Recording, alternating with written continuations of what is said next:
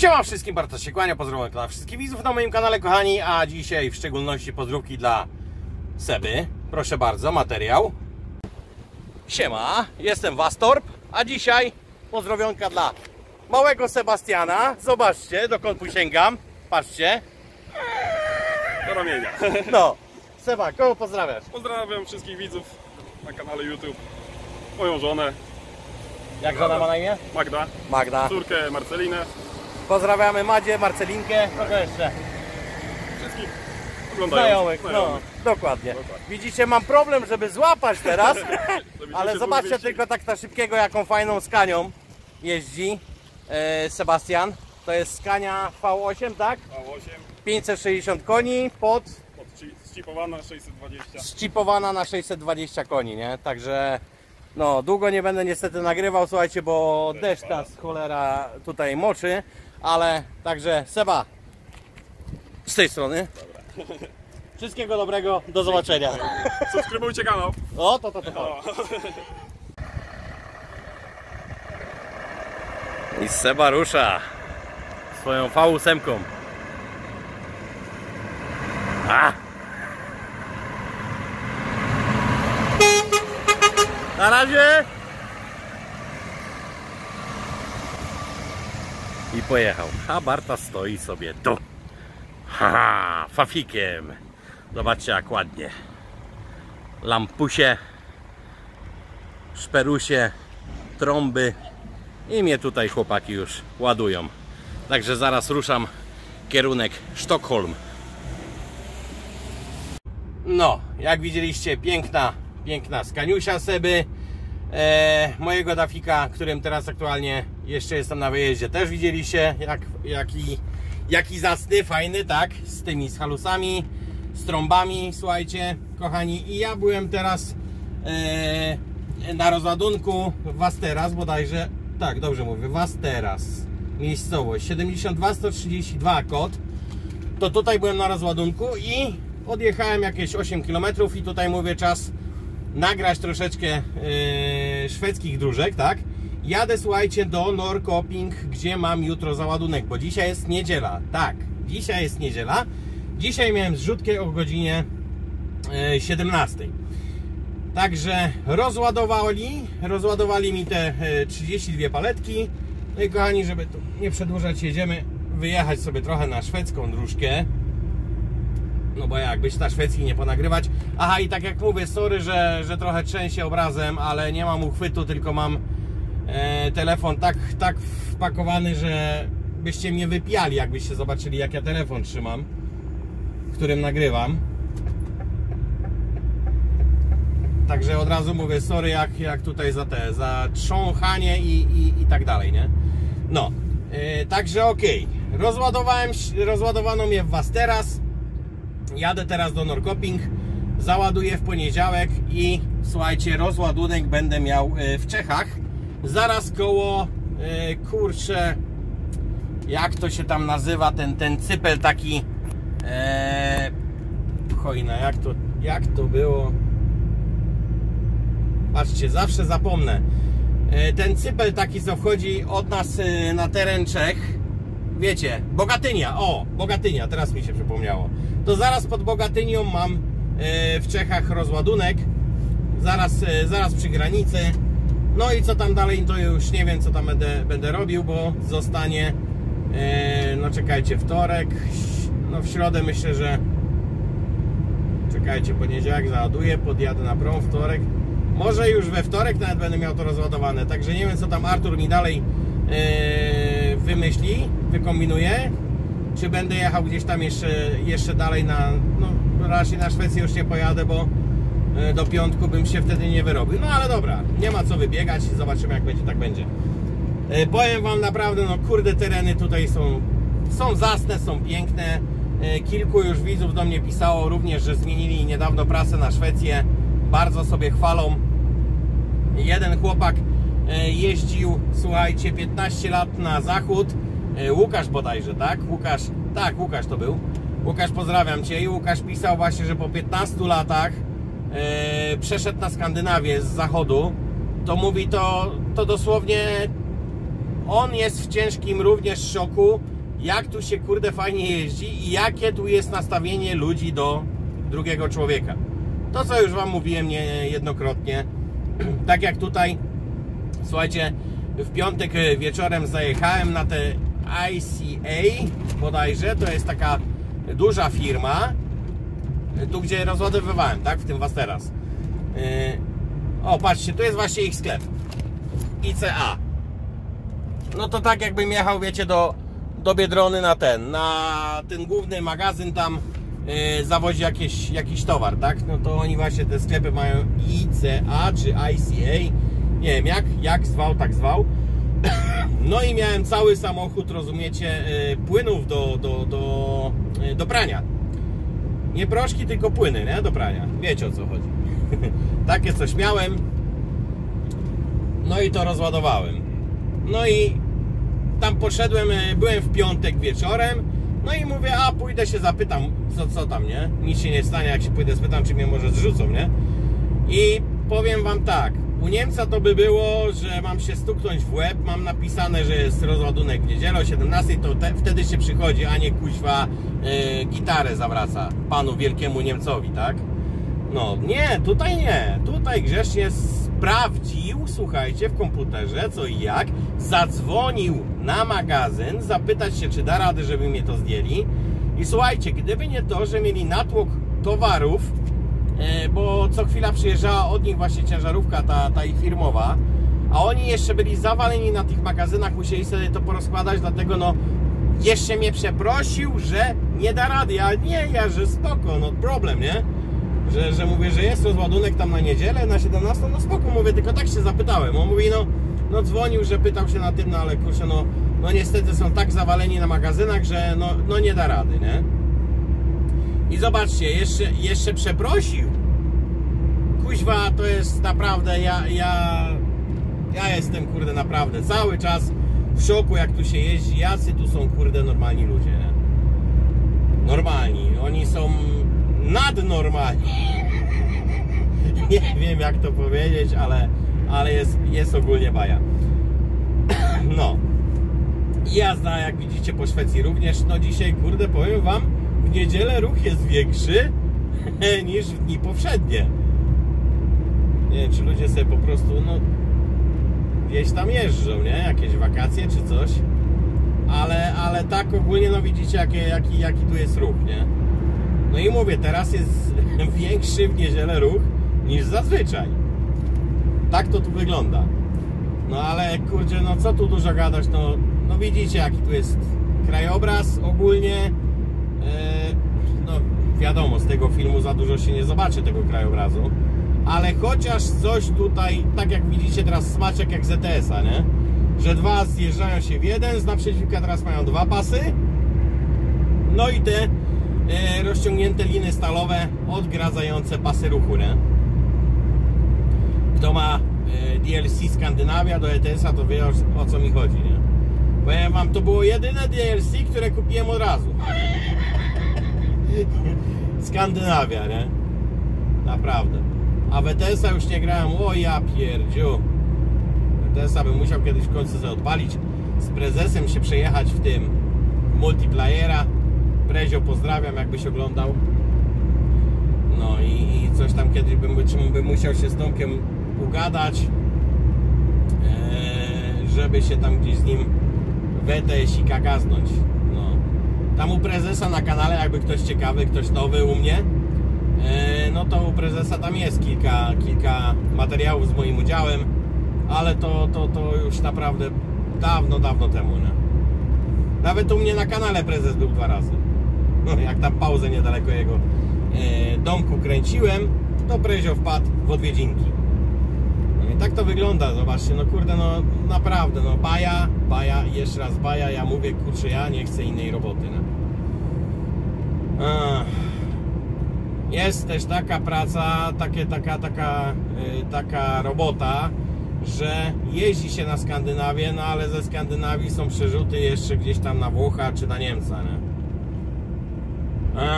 No i się się bije z tymi myślami, bo jednak tak jak mówię, ja bym wolał jeździć cały czas sobie tutaj po, po Skandynawii bez jakiegokolwiek wjeżdżania na, na zachód, nie?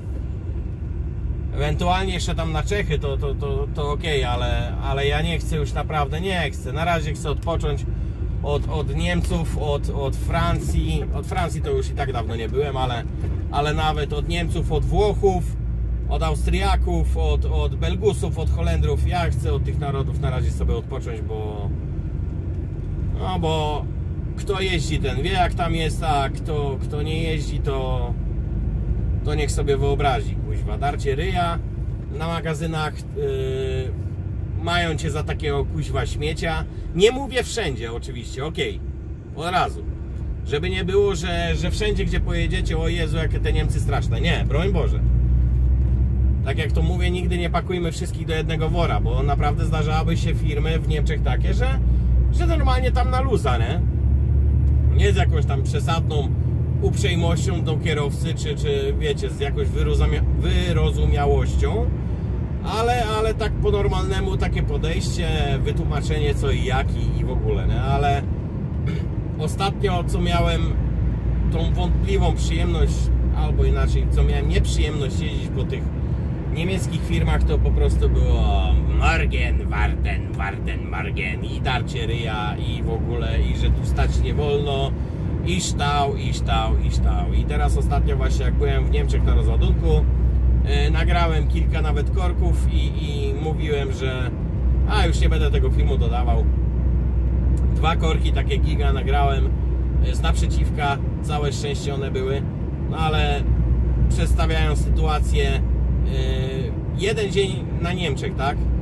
I dwa takie kory, takie ształy mijałem, że to po prostu się w bani nie mieści. Jeden miał 8 kilometrów a drugi też koło, koło chyba, też koło 8. Ja tam, nie wiem, na tym, na tym materiale, który nagrywałem, to tam mówiłem dokładnie, ale już nie chcę tego szukać, nie chcę tutaj tego wklejać eee, i w ogóle nie chcę patrzeć na to?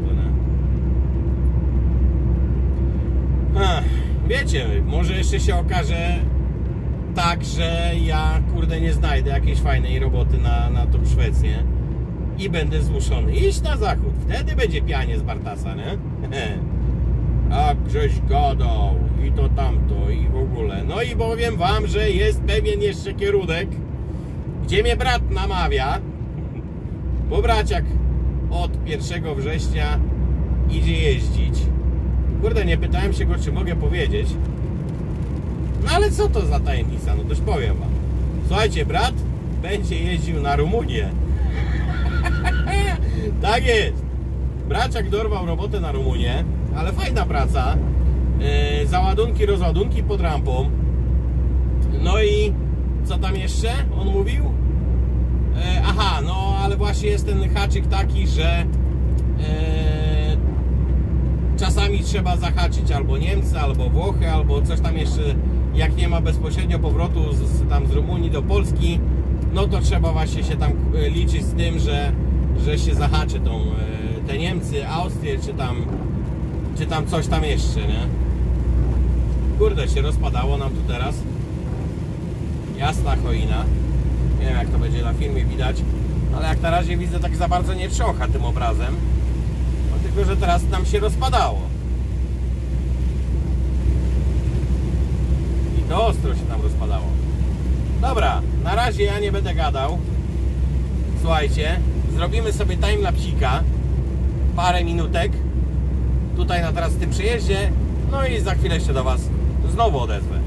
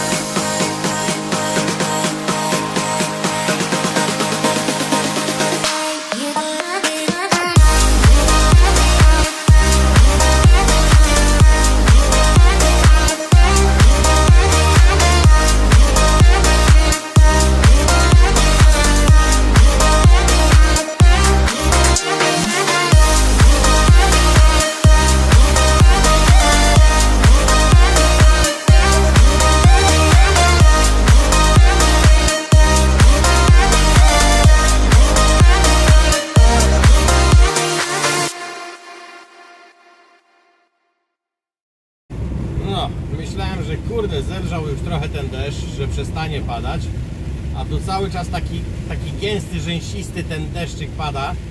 Ale słuchajcie, to było do przewidzenia. Dzisiaj od rana była taka paruwa, taka duchota, że to było do przewidzenia, że, że, że zacznie padać.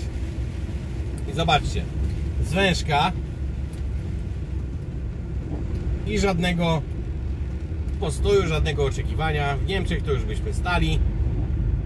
Oczywiście, bo jak żeby inaczej. Niemczech zwężka równa się ształ. Chyba, że jedziemy w nocy albo w czasie koronawirusa, to wtedy tych kurde ształów nie było, nie? No, ale dobra. Y, Powiem Wam taki, taki temat teraz odnośnie, odnośnie jeżdżenia tutaj. Powiem Wam, jestem, tak czasami jadę, nie? Mam radio włączone.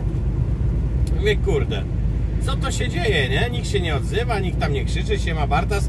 Dopiero po chwili do mnie dociera, że przecież e, ja jadę autem, którego, którego nikt praktycznie nie zna, nie? Oprócz tam kilku osób, które spotkałem i które mnie poznały, bo tutaj w Szwecji również o jeszcze właśnie po Sebastianie, krótko po Sebastianie tam e, drugiego widza spotkałem. Kurczę, sorry, zapomniałem jak miał na imię, ale serdecznie pozdrawiam kolegę. E, I powiem wam, właśnie kurde, tak, tak jadę się zastanawiam, mówię, kurde, no nikt na radiu nie krzyczy, nie woła i dopiero po chwili właśnie tak do mnie dociera, mówię, toś cholina, no skąd? E, ale to jest też dobre, bo na przykład stoję na pauzie, idę sobie, e, robię sobie coś do jedzonka, czy ten, nikt nie podchodzi. Nikt nie podchodzi, bo nie zna samochodu. Jak mam zasłonięte firanki, to, to już zupełnie wiadomo mnie nie widać i nikt nie podchodzi, ale mówię, to jest dobre w czasie, w czasie pauzy takiej krótkiej, e, bo można sobie na spokojnie zjeść bez tego, że oczywiście ja nie mówię, że mi to przeszkadzało czy coś, broń Boże.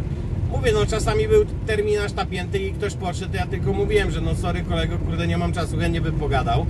No ale niestety muszę coś zjeść i, i jadę dalej, nie? E, no i tak to, tak to wyglądało e, na pauzach krótkich. Oczywiście mówię, na długich to i spoko, można zawsze i pogadać i, jakieś fotki sobie podstrykać i tak dalej. E, a na krótkich to zazwyczaj no jest tak, że, że się staje, idzie się do toalety, e, robi sobie jedzonko, zje, pomyje gary i, i jedzie się dalej, nie? Tak to wygląda. No. A tutaj teraz skręciliśmy już e, na drogę, jaka to jest? Droga chyba 50, tak 56, droga numer 56 i do Norrköping mi zostało, słuchajcie, e, 98 km jedziemy sobie lasami, jak większości większości tras tutaj po, po Szwecji, po Skandynawii i powiem Wam, w Szwecji nie widzę tego, co widzę w Norwegii. O co mi chodzi? No, przez Norwegię jak jechałem, to po prostu przy domach są złomowiska. Ale od, o jakie złomowiska? Nie tam, że wiecie, no jakieś skupy i tak dalej, tylko od choiny stoi po podwórkach przed domami starych samochodów, zdezelowanych, takich pordzewiałych. Nie wiem właśnie jak to w Norwegii wygląda, czy nie, tam się nie złomuje pojazdów, czy, czy o co chodzi bo naprawdę ten, kto jeździ po Norwegii, czy kto, kto, kto był na Norwegii, czy, czy mieszka w Norwegii, to niech się wypowie w komentarzach, jeżeli wie o co chodzi z tymi właśnie samochodami pod, pod domami, że one tak stoją. Bo naprawdę bardzo, bardzo dużo tego mijałem, jak jechałem yy, właśnie ostatnio jeszcze z yy, Euro 6, nie? Od Artura, tam ten pierwszy wyjazd, co miałem, co? Jechałem te yy, armatki śnieżne, tak? Rozładować. No to tam mówię, jak przyjeżdżałem, no to było bardzo dużo właśnie takich przy podwórkach, przy, raczej przy, przy domkach takich właśnie starych, zdezelowanych samochodów dużo stało, nie? Jak się właśnie zastanawiam, mówię, kurde, o co, o co chodzi, czy nie wiem, czy będą to remontować, ale dużo, dużo, naprawdę dużo tego e, można spotkać. Tak dziwnie trochę to wygląda, no ale spoko. Jak to lubi, nie? Nie wiem, ja jakbym miał taki domek i tyle miejsca w koło, no to ja nie wiem, jakąś wiatę bym zbił, nawet cztery nogi wkopał w ziemię, jakieś zadaszenie na szybkiego zrobić i, i heja banana, niech to stoi pod tym, jeżeli to ma być kiedyś remontowane, ale mówię, no to wszystko pod chmurką. I tak to, tak to wyglądało właśnie. No patrzcie, znowu nam się rozpadało. Leje taki rzęsisty deszcz. No ale ja się wcale nie dziwię, nie? Ja się wcale nie dziwię, bo wczoraj była paruwa, dzisiaj od rana była taka paruwa, taka duchota, a teraz jest, słuchajcie, teraz jest 15 stopni. Także zjechało z 28 do 15 stopni teraz. To jeszcze do południa było 28 stopni jak stałem. A teraz już się ochłodziło. I od razu inaczej się oddycha, co nie? No.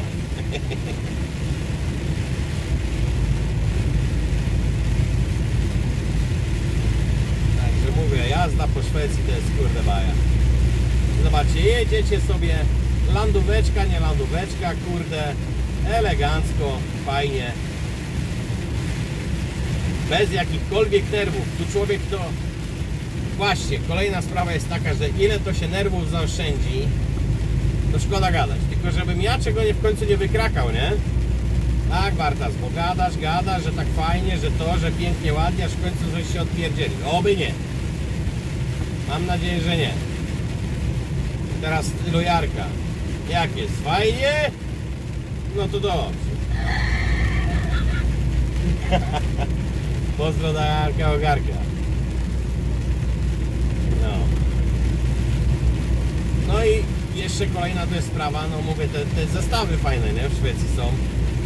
E, te, te podwójne takie, o właśnie tak jak teraz widzieliście miał e, dwie naczepy praktycznie.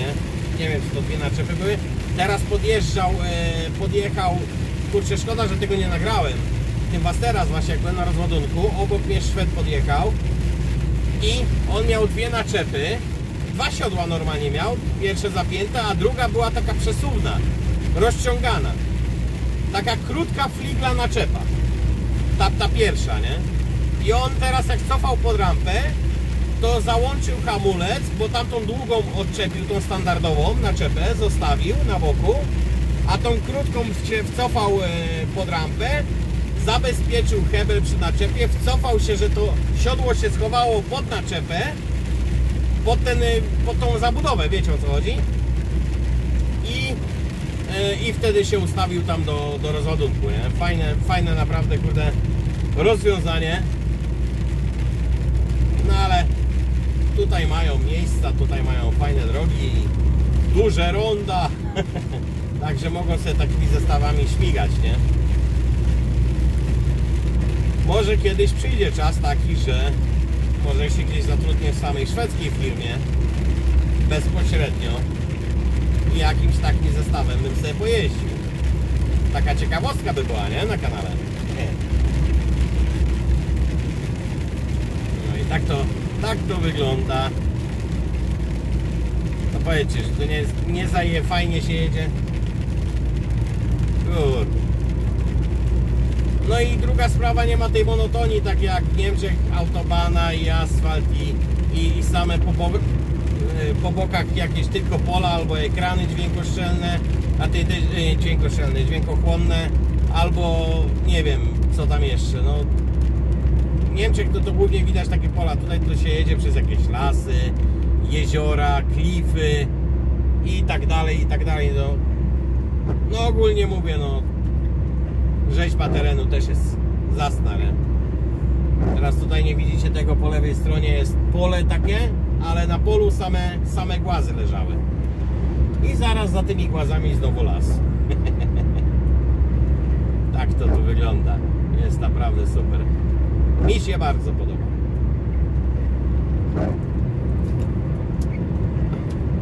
No. A ci co teraz mówię, przesz, przeszli na, na Szwecję na jazdę, również e, piszą, że, że no jest, jest zupełnie inny świat. Ja już się powtarzam, ale mówię, no to można kurde gadać do, w kółko do znudzenia. No się idzie z zupełnie innym takim, to znaczy ja wam powiem też, mam coś takiego, że jak idę na jakąś firmę w Szwecji teraz, nie? Zastanawiam się, kiedy w końcu trafię na jakiegoś, wiecie, nie? Co zacznie burczeć albo coś. No jak na razie, kuźwa, omija mnie to. Gdzie pójdę z uśmiechem, siema, siema, tutaj wiecie, oczywiście hello, nie? How are you? I tak dalej. I jest, kurde, naprawdę super.